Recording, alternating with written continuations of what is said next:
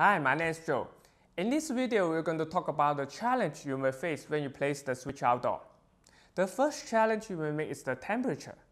This is the commercial grade PoE switch. When we design this switch, we're expecting you are going to place this switch indoor with the temperature control like the AC.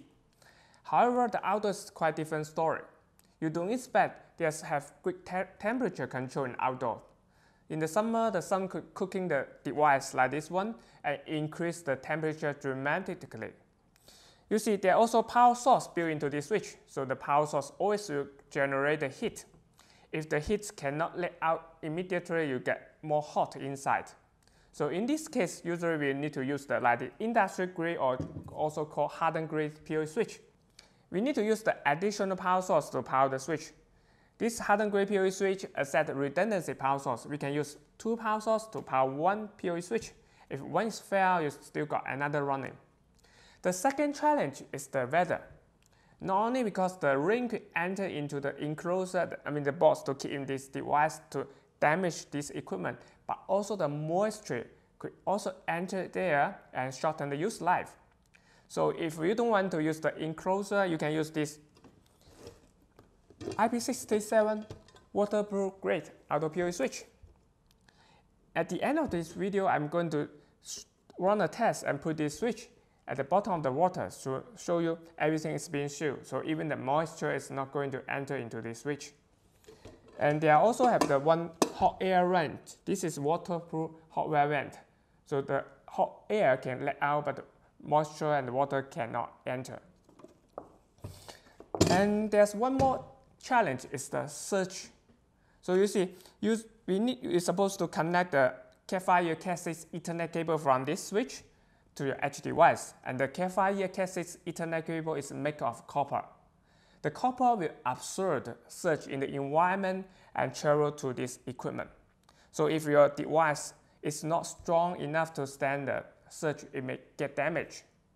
This hardened grade PoE switch, also auto PoE switch, can stand the high range surge. Okay, now let's move to the workshop and run a test, waterproof test for this switch. This is the Apple Auto PoE switch. One of feature of this switch, it can be powered by another PoE injector PoE switch. You can see that I didn't connect this switch to any AC power outlet, but the switch is working. You can see both indicators on. So the port number A is taking the PoE power from this PoE injector at the center. And this is the cable connecting to the PoE injector. We also got the second cable connected to the camera. Now the camera is live. Before we run the test, there are two things you need to pay attention. First thing is, please make sure this is ground is being fastened tightly enough. There's no gap between the ground and the body. If you, your force is not strong enough, you can use the wrench to fasten the ground. Also, if you don't have any, any additional part you don't plan to use, use the rubber to bolt it. The second thing is these two screws. You need to, you need to use these two to fasten the screw and make sure there's no gap between the top and the bottom. Okay, now just let me fasten the screw.